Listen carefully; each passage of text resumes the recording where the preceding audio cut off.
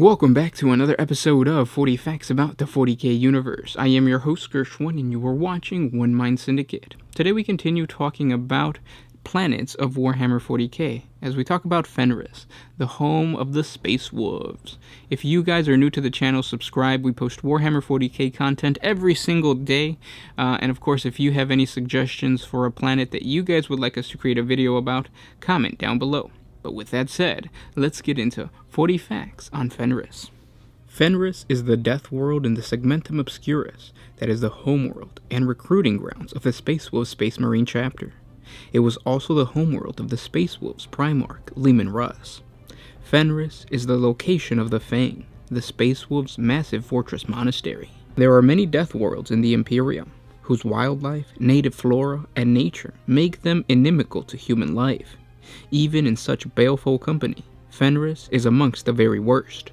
It is a world of ice and fire, of wolves and dragons. It is one of the most inhospitable planets in the universe. Yet the folk of Fenris not only endure, but they thrive. A planet of fire and ice, dominated by extremes of climate. Fenris is listed in the Apocrypha of Skaros as one of the three most deadly and turbulent worlds inhabited by humanity in the Milky Way galaxy.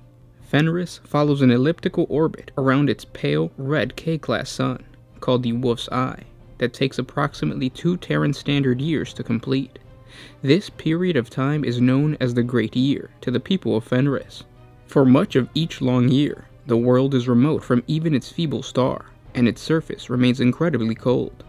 The oceans freeze over as Fenris draws away from its sun, and at its farthest point, even the equatorial seas are covered with ice. The volcanic activity of the bleak mountains that punctuate the waters are stilled so that at the height of Fenrisian winter, a man can walk between the many isles upon which Fenrisians dwell. Toward the end of the Fenrisian Great Year, as the planet sweeps close to its sun once more, the wolf's eye swells in the sky, and the brief spring warms the surface. During this period, the ice retreats to the world's poles, and the gargantuan dwellers of the deep waters emerge to enjoy the bounty of sun-spalled krill, bladefish, and other short-lived aquatic fauna. As Fenris reaches the point at which it is closest to its sun, the passage of the planet so near the star produces tidal forces that break and twist the suboceanic crust, exposing Fenrisian molten mantle to the frigid waters. It is then that the time of fire and water has arrived. With explosive violence, the world is torn asunder. Blazing islands rise from the steaming sea, spewing flames with lava pouring down their slopes. Below the surface, the waters boil into steam that engulf Fenris with its sulfurous fumes. Great tidal waves scour the coastline. Islands created in the upheaval of preceding years are cast into turmoil by their global transformation. Some endure, but many are broken apart or swallowed by the seas engulfed in the churning waters and casting their unlucky inhabitants into the deeps. But the great lump of solid granite the Fenrisian tribesmen know as the polar continent of Asaheim always stands fast, a single, changeless continent on a world of fire, ice, ruin, and torment. This extreme geography has resulted in the human population of Fenris becoming one composed largely of primitive, nomadic, barbarian tribes whose barely approximate an Iron Age level of development. The tribes constantly seek secure territory, and as a result, skirmishes and feuds over land between rival tribes are common.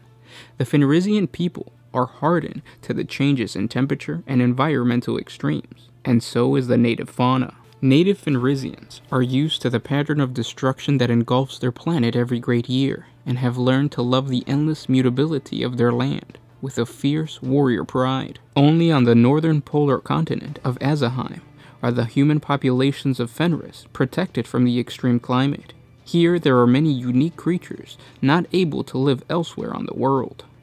These include massive white ice bears, which are monstrous carnivores similar to the Terran polar bear, who are large enough to assault human buildings. Fenrisian giant elk, which are massive mammalian quadrupeds whose towering racks of antlers are razor sharp and can cut a man to pieces within seconds. They are a larger breed than their distant cousins that once roamed Terra long ago, but are far larger creatures and more fearsome and aggressive than their extinct predecessors. The Fenrisian mammoth, which are gigantic shaggy quadrupeds, evolutionarily homologous to the ancient and extinct Terran mastodon. It can crush a man beneath its great padded feet, or skewer him on its long ivory tusks.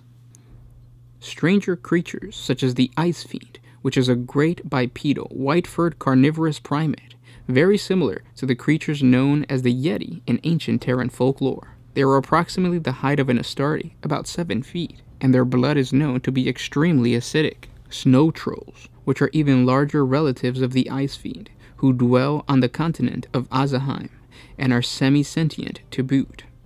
They represent a constant danger to anyone moving openly across the glaciers of the northern continent, including space wolf Astartes and neophytes.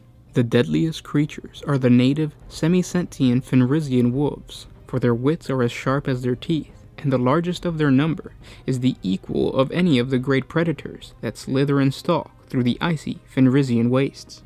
Yet Asaheim is remote, surrounded by towering cliffs that rise thousands of feet into the air above the seas and separated from the oceans. Its fabled land provides no refuge for those that live beyond its rocky confines. To a Fenrisian tribesman, it is truly the land of the gods. The Space Wolves Fortress Monastery, known widely across the Imperium as the Fang, and the Aett by its inhabitants, is a massive citadel built atop the tallest mountain of Asaheim. This mountain is known by many names, including the Shoulder of the Allfather, the Volda Hamkari, and the World Spined.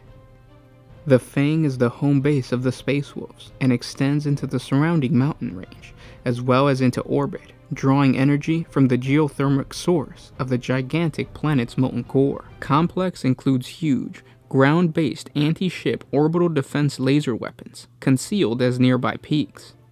Docks at the summit of the Space Wolf's battle barges and strike cruisers, numerous shrines to the Emperor along the lower slopes, and massive fusion and geothermal reactors deep underground. Outside of Terra itself, the Fang is considered one of the most impregnable fortresses in the galaxy, constructed by the Mechanicum during the Great Crusade, using technology that has long been lost. It has never been conquered, although the Thousand Sons Traitor Legion, the Space Wolves' most hated foe, did manage to briefly occupy the outer slopes of the Fang after luring the bulk of the Space Wolves' force away from Fenris during the first battle of the Fang in the 32nd millennium. Along with the Fang, Fenris is home to the Fire Breather, a mighty volcano surrounded by a handful of hardy and stubborn Fenrisian tribes, who risk the fickle wrath of the mountain.